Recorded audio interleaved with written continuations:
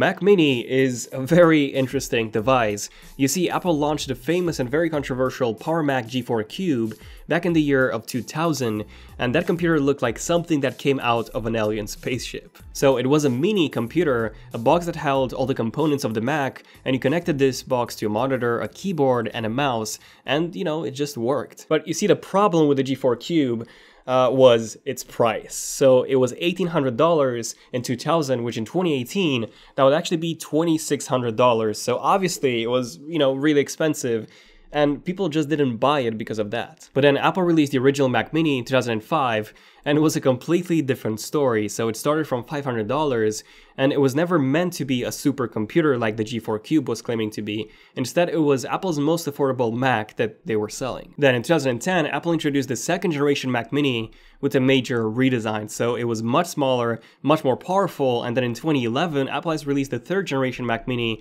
which actually removed the optical drive, and that's the exact same design that we've had ever since. But the last time that Apple has updated the Mac Mini was actually in 2014, so it still started from $500, but the performance was dropped, and Apple hasn't updated the Mac Mini ever since. And users weren't really sure who the Mac Mini was for. So some people bought it because it was Apple's cheapest Mac, and some people bought it because they wanted to set it up as a server or remote access point for all of their video editing needs.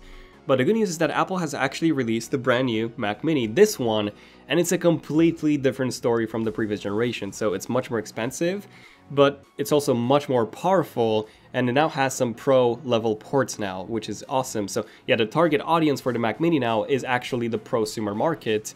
I'm in that market, so here's my full in-depth review of the 2018 Mac Mini after 30 days of use.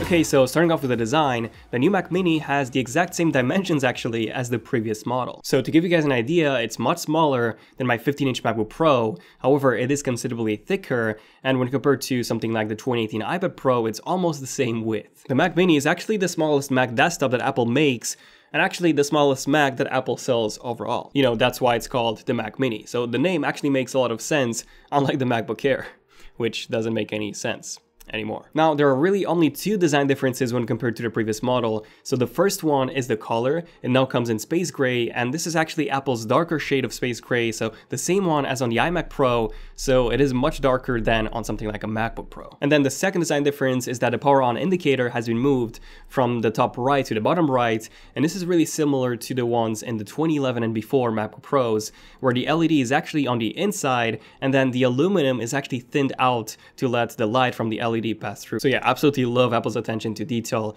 But that's pretty much it in terms of the design. It's a very small box that you can easily put in your backpack and connect to your home or office setup. Now, actually, my favorite part about the new Mac Mini is the connectivity. We have a power button, the power cable, we even have an ethernet port which you can actually configure to a 10 gigabit ethernet port. This is huge guys, this is this is massive. You can connect this thing to a server with a 10 gigabit ethernet port, so that's awesome. And wait, there's actually way more. We also get not one, not two, but actually four Thunderbolt 3 ports. We get a one HDMI 2.0 port, which supports output at 4K at 60 Hz, which is also supported by the four Thunderbolt 3 ports anyways.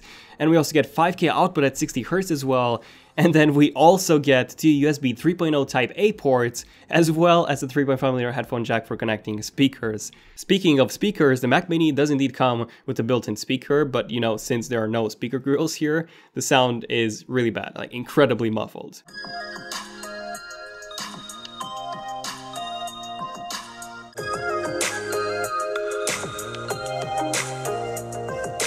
But really, the best part about all these ports are the four Thunderbolt 3 ports. So with Thunderbolt 3, you can connect a 5K monitor to this at 60 Hz.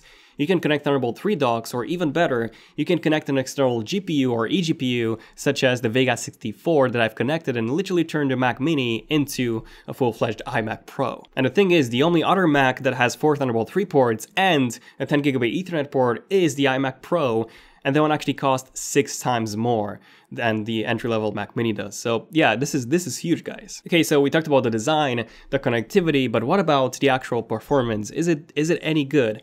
Well, actually, it's it's pretty good. So you can configure this with the Intel 8700B processor, which is a 6-core 3.2 GHz i7 processor, which can turbo boost to up to 4.6 GHz, and also has a 12 megabyte level 3 cache. And the CPU alone is actually the most powerful CPU in any Mac ever, so in terms of the single-core score performance, it's actually higher than the top-of-the-line iMac Pro. In terms of the multi-core, while the 18-core iMac Pro is of course the best one, since, you know, it has 18 cores versus 6 cores. Now, the Mac Mini also supports up to 2 terabytes of flash storage with speeds of up to 3.4 gigabytes per second in terms of the read speed, so yeah, that's that's insane. Now you can also configure the Mac Mini to up to 64 gigabytes of RAM. However, the RAM is actually upgradable now. Uh, it is a bit more complicated to do yourself, but at least it isn't soldered anymore. So I do recommend some third-party RAM options instead of the Apple ones because Apple charges an insane amount of money for upgrading the RAM. I've actually included the link in the description for the most compatible 32 gigabyte module uh, if you want to do the RAM upgrade yourself. And honestly, you should. Then the cooling in the Mac Mini is also much better than in a MacBook Pro, for example. It's not as good as in an iMac Pro, but also better than in an iMac. So yeah, so far, so good. So what's the catch? Well, you see the catch is that a Mac Mini has no dedicated GPU.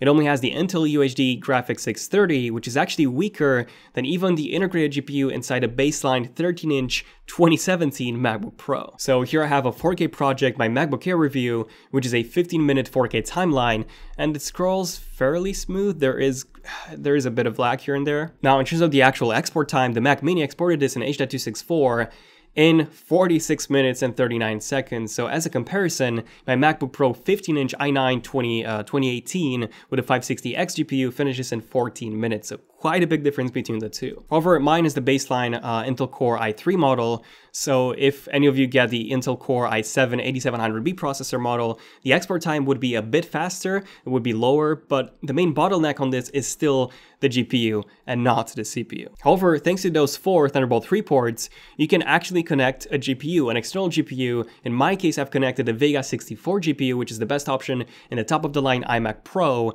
with a Razer Core X enclosure. So these are actually the two best eGPU options for a Mac. I've included links to both in the description. So with eGPU connected, the Mac Mini exported this project in 16 minutes and 7 seconds, so a massive improvement compared to before, but still slower than a 15-inch i9 MacBook Pro with a dedicated GPU. So like I said, I do not have the 8700B CPU model, but rather the baseline i3 model, but even with the 8700B and an eGPU attached, the Mac Mini would still be slower than a top-of-the-line 15-inch MacBook Pro just because of the data bandwidth that you lose with an eGPU versus having a weaker but dedicated GPU attached, you know, directly to the motherboard. Okay, so in the end, who is the Mac Mini for?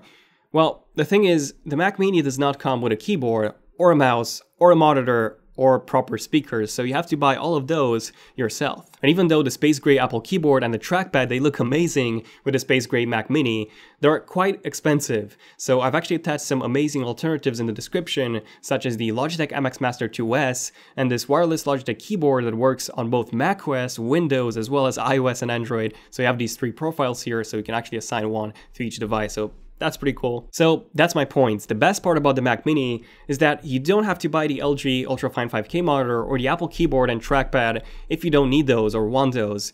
Uh, if you simply want a 1080p monitor or a really cheap, you know, keyboard and mouse to keep the cost low, well, you can do that. The Mac Mini gives you that flexibility which no other Mac computer aside from the Mac Pro offers. And if you do decide to go the Apple route and add a 5K ultrafine monitor, then the Mac Mini would cost you more than an iMac Pro, and that's even without an eGPU in the first place. Okay, so in my case, I'm actually keeping the Mac Mini. I'll be using this thing as a server, so one Thunderbolt 3 port connects to my QNAP uh, 1282T3 Thunderbolt 3 NAS, and the other Thunderbolt 3 port connects to my MacBook Pro, and then I have multiple computers connected directly to the NAS via Thunderbolt 3, and indirectly through daisy chaining, um, they would be connected to the Mac Mini as well. And yeah, that's that's pretty much it. I don't even need to have a monitor connected to this because I can access everything remotely, and this is how I'm using my Mac Mini, by the way. Um, this, in my opinion, is the best use case scenario for a Mac Mini, using it as a hub to connect multiple Mac computers to it uh, through the four Thunderbolt 3 ports, and you know just make a server out of it. If you plan on maxing this thing out, and you know buying an eGPU, a 5K monitor, and so on, it will actually cost you more than an iMac Pro, which in the end would still be more powerful in terms of that dedicated GPU. But yeah, let me know in the comments what you guys think about the Mac Mini. What would your use case scenario be? And in case you're getting one, I don't know, let me know which configuration you guys are getting. But yeah, definitely subscribe and notifications if you're new to the channel and you want to see more in-depth tech videos like this one. Also, feel free to join the zone. You can tap the join button and you support the channel and you also get some pretty cool exclusive features such as badges that actually evolve over time and priority comments in the live stream, um, which I'm doing one at the end of every month. I've done the previous one linked here uh, about a week ago. So yeah, thank you for watching. I'm Daniel. Thanks for watching my in-depth review of the Mac Mini Zone of Tech. Signing out. Cheers.